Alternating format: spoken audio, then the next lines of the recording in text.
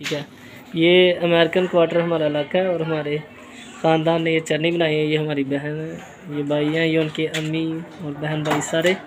तो अभी हम आहिस्ता आहिस्ता चटनी को देखेंगे कि चटनी कैसे बनती है।